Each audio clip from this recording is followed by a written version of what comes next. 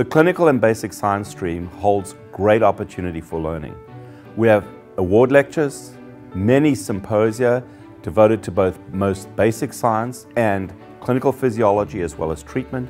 We have Meet the Professor sessions where experts in the field will be able to present shortly and then take interactive stuff, um, conversation with the audience. It's jam-packed also with posters and poster discussions. Wonderful learning opportunities for everybody.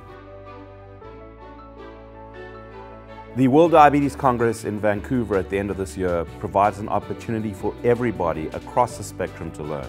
From the individual doing the most basic science, to that person who's doing clinical physiology and trying to understand the pathogenesis of diabetes, to the clinician treating the patient.